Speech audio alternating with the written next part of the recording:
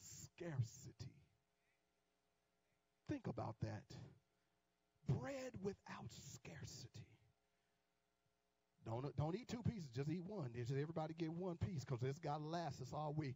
No, bread without scarcity. He said, in, in which you will lack nothing. A land, now watch this, a land whose stones are iron and out of whose hills you can dig copper. If you're taking notes, put this down. He's saying this everything that I need to fulfill the promise is within the land of promise. Write that down if you're writing notes. Everything that I need, somebody say it after me. Everything that I need to fulfill the promise. How many of you are people of promise? You know that God is giving you a promise. God is giving you a promise, and He's not going to back out on the promise. God is not going to run out of money midway.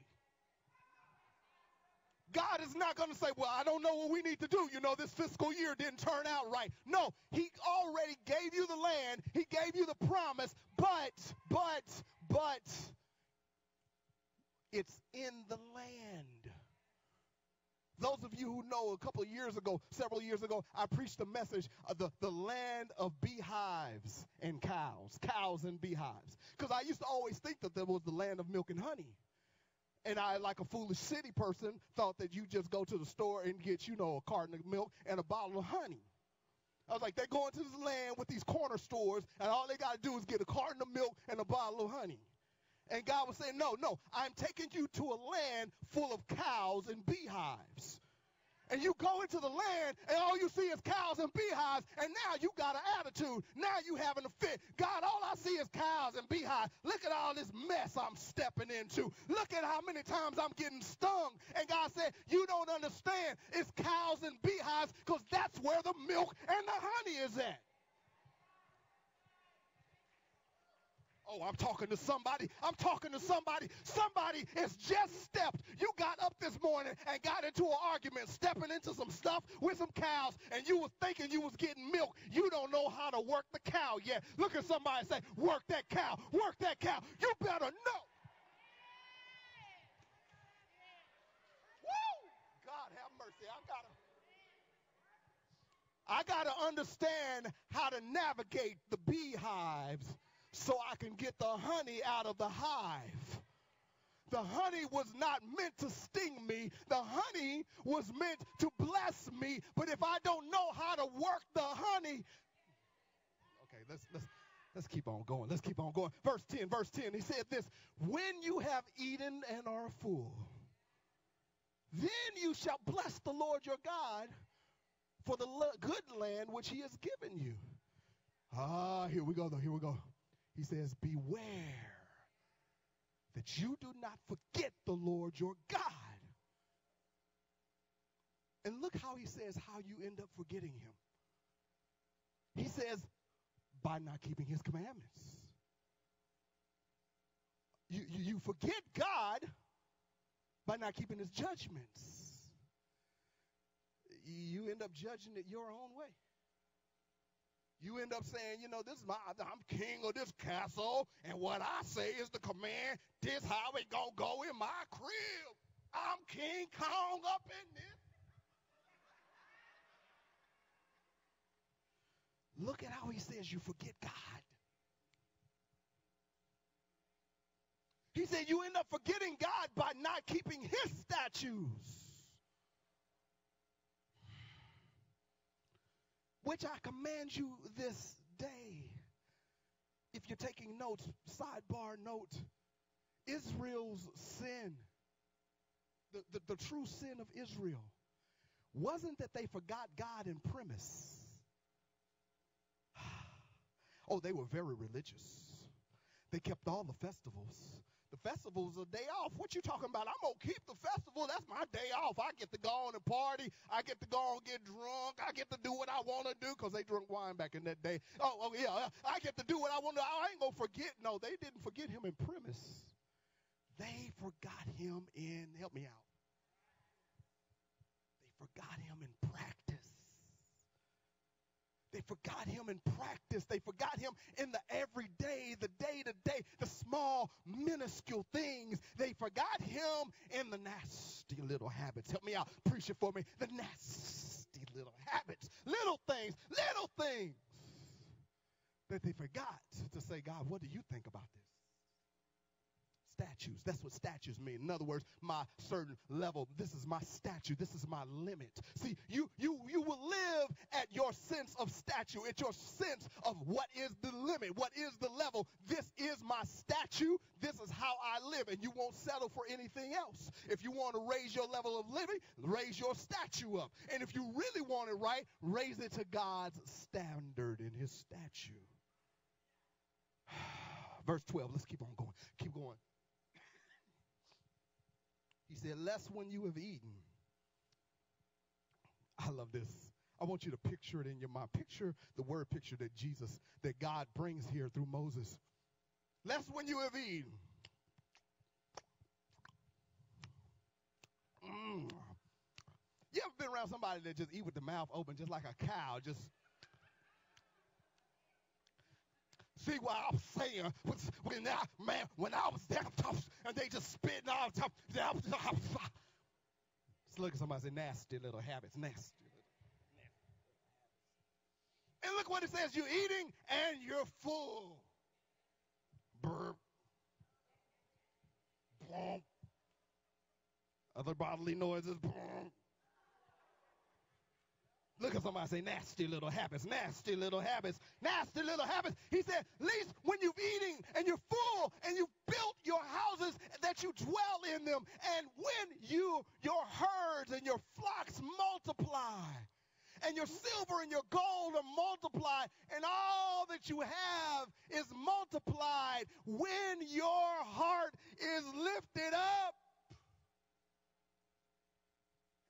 And you forget God the Lord your God who brought you out of the land from the house of bondage, who led you through the great and terrible wilderness in which fiery serpents and scorpions and thirsty land where there was no water, who brought you or brought water to you out of a flinty rock who fed you in the wilderness with manna, which your forefathers did not know, that he might humble you and that he might test you.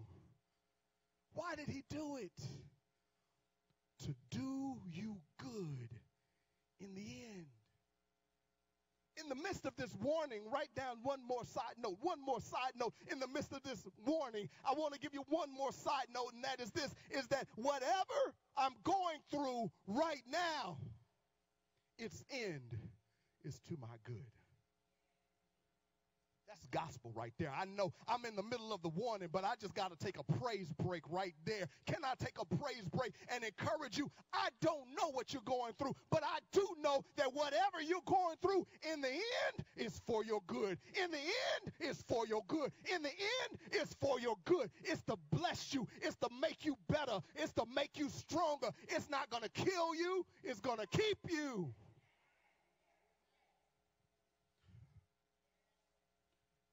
He said, back to the warning, back to the warning.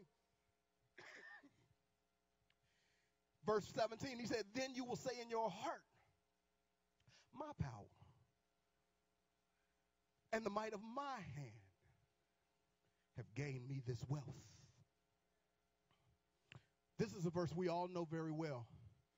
Verse 18, let's all read it together.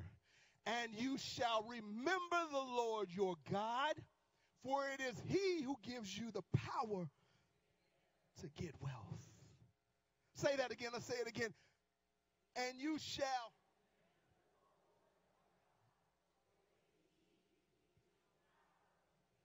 See if you can say it with your eyes closed. If you may don't memorize it, just just kind of peek at it and listen, but try to close your eyes and say it. Let's say it one more time. And you shall remember the Lord your God, for it is he who that he may establish his covenant, which he sware unto his forefathers, or to your forefathers this day.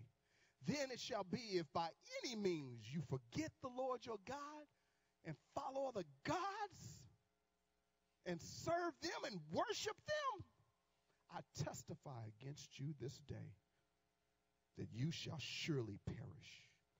And how are you going to perish? You're going to perish just as the nations which the Lord destroys before you, so shall you perish, because you would not be obedient to the voice of the Lord your God. Somebody help me out and say nasty little habits. It was the habits, it was the nasty little habits that we know in the scripture as we go through and we realize that this is what really kept Israel out of occupying the land fully and fully coming into the fullness of the promise. And, and God allowed it to happen that way so we can all take a look at Israel and realize that they are just a tithe of humanity. They're just an example, an end sample of what all of us are like. All of us here have a promise or you would not be here. I'm going to say that again. All of us have a promise, or God would have taken you out. If your time is up, God will take you out. But because you can breathe, that's why it says, let everything that have breath praise the Lord. Because the fact that you can breathe means that you still have purpose here, that you still have something great to do, that you have something great to be, and you have a legacy. But it's the habits it's the habits. It's the habits. It's the idea of the habits. And, and see, I want to talk the difference between habits and rituals. See, there's a difference between habits and rituals. Habits are those things that happen and they just happen. It's just it's just a habit. Little things, you know, little things you do. You you, you don't even recognize you're doing it. You just do it. Okay, I, am gonna tell it. Can I tell it? Can I, t- can I tell it, baby? Then like, what you gonna tell? Okay, I'm gonna tell y'all. I'm gonna tell on me. Gonna tell about me. I'm gonna tell a quick, quick, just quick story. I gotta tell it real quick. It had to be about when Asia was just born, so we probably married about four years, maybe four, maybe five. I, we were out and we were doing ministry, and we were out on a ministry venture, and we were working in a big ministry, and we were excited about it and all that. And there was this one sister that always used to like try to push up on a brother. I ain't gonna say no names. I ain't gonna say no names.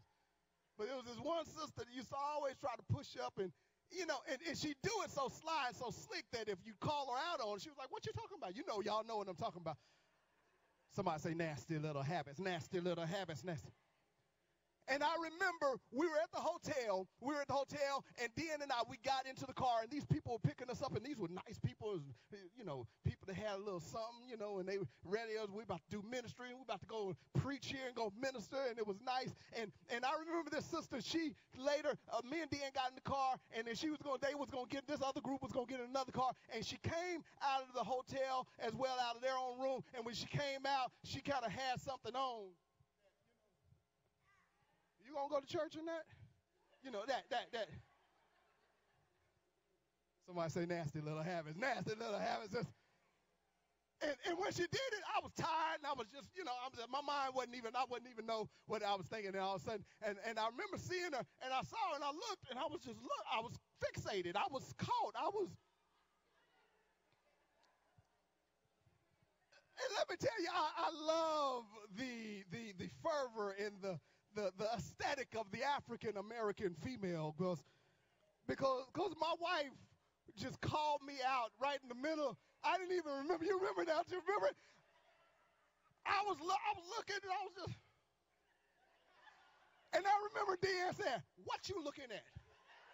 What you looking at?" And I was like, "Oh, baby, baby, we got them. They picking us up, and we're about to go do ministry. Don't go hood on me right now, please. Don't go hood on me right She's like, no, what you looking at? I was like, what, what, what you talking about? I was trying to come out of it. You know, I was trying to go, what, what you talking about now? Now I saw you, what you looking at? What you looking at?